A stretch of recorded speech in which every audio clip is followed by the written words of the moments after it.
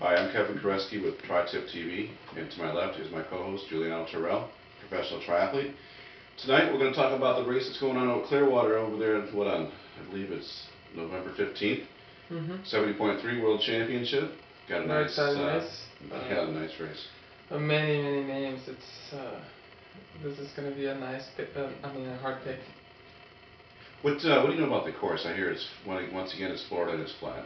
Uh, that's really uh, as I, I just know as much as you know. It's just flat like a pancake. Hot, cold, humid. Uh, hot dry. and humid, yeah. Hot, and humid. Yeah. Potentially windy. Um, not sure about that. This is one of those races where this really would not suit anybody going out for the hills. If you're a strong hill cyclist, this is not your race. This is flat, fast, time trial, 56 miles. It just balls out, going And, for it. and let me add one little thing to it. Uh, uh, being having that said, it makes that much more competitive. I think.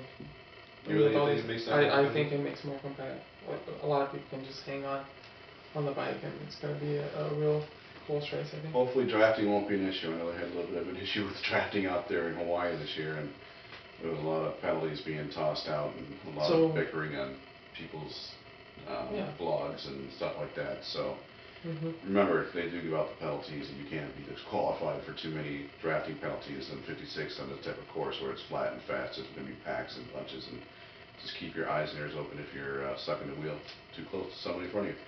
Anyways, uh, we're, we're start, going to start with the women or the or the male here? well, I think we should give it to the ladies first. Always the lady. Okay. Gotta be a gentleman. Why don't you go ahead? We're gonna go and discuss our top eight picks. Now, we're not gonna tell you who we think is gonna win the race. We're just gonna give you an idea of who we think are gonna come in at top ten. Juliana, why don't you start off with your ladies? I'll start with my top uh, eight women here. Carla Moreno, Brazilian girl. It's, I'm from Brazil, but I'm not. Just saying. She's been in ITU races. She's very strong. So, Carla Moreno, Laura Bennett, which everybody knows the name. Uh, Jordy Swallow, Julie Dibens, Anina Kraft, Leanda Cave, Sarah Groff, and uh, Joanna Zeiger. That's a pretty good list you got there. I got a little bit of a different list. A couple people are the same here, but uh, I'm gonna go with uh, Pip Taylor. She's had a solid year. She won Vineman. Julie Dibens, she's got to be in there. She just won the Xterra World Championship out in Maui a couple weeks ago. Joanna Zeiger. She just threw down a pretty good race, and she's solid, and she's won this thing a couple times. She knows what it takes. Mhm. 70.3 is her thing. She retired from Ironman after doing Arizona last year. Um, Jodie Swallows, Swallow, she just uh, she just won the ITU Long Course uh, World Championship there in Perth. You got to put her on the list now because she's obviously a threat. Jodie Swallow. Uh, you got uh, Catriona um, Morrison. I take Mary Beth Ellis, another ITU girl. Sarah Groff, another ITU girl. Speed Okay. fast, and uh, and then we got uh, Magali Kadise. You got She- ten, right? You got ten. I got eight. Oh, eight. There's eight there. Um, I'm picking Magali. Magali had a really solid year all the way around as uh, to, to, to round my top eight off. And uh, let's talk about some of the boys coming out there. This is a pretty big field, pretty Hmm. solid, pretty fast. Y- You want to start, or you? Go ahead. No, after you. You're gonna pick a Brazilian to start off with. Go ahead. Okay, I'll start with Fabio then, from Wow. Brazil. No, he's actually from Uh, Argentina. No, Fabio is, is Oh, Oscar. he was my Oscar. neighbor. I'm What are you talking Oscar. about? Oscar's from Argentina. Sorry. Fabio Carvalho, uh, Brazilian guy. He was he raced in LA here. He's done Ironman before. Uh, solid guy. He was fifth in, in LA. He's very strong. So that's one of my picks. Oscar Galindez, we know the name. He's won that before. Uh, Greg Bennett, cannot can never count him out. Uh, Reinaldo Colucci, for the ones that watched Hawaii, you've heard his name. He's also from Brazil. Uh, Joel Gramble, I know you like the guy, very strong guy. Philip Graves, I know people don't, he's, he likes to talk, but uh, he's very strong. Ter- Terenzo Bozzone and uh, Richie Cunningham. A solid list, very solid list. I'm going to go with, uh, you're right, Joe Gambles, who I've dubbed as Mr. 70.3. He's had a very solid year. Came Mhm. up, he had some solid, solid wins. Um, Luke Bell didn't race he didn't uh, put his heart and soul into Ironman this year. He went out and did had his race, had his day out there in Canada for long distance stuff. So he held out. He really, really focused all his, his energy towards this, this race coming into this year. did not do Kona. Tim O'Donnell, yeah, can't can't take away from him. He Sure. just won it out there in uh, Perth. ITU Long Course World Champion. I only had so many names to pick. Richie Cunningham, very good at 70.3, very fast, strong. I know, I know what you're thinking. I know, I know. You can't win them all, but uh, Terenzo Bozzone spent a lot of time training this year. Did a lot of quality workouts in him.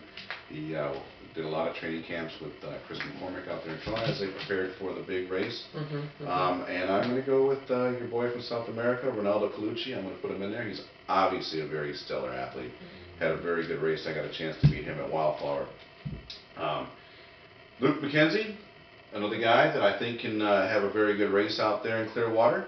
I know he's shifted more of his focus towards his long course Ironman racing. He won two Ironmans last year. Did not as well as he'd like to have in Kona, but I think he had a very good race. Came in the top 20. And then there's Matt Reed. oh, I forgot about Big that. Matt Reed, man, you can't count out the big boy. Seriously, I actually didn't even see his name on the list. Matty Reed is uh, had a few. Who am I gonna few- switch him with? Okay, I'll take Philip Graves out and I'll put Matt Reed in.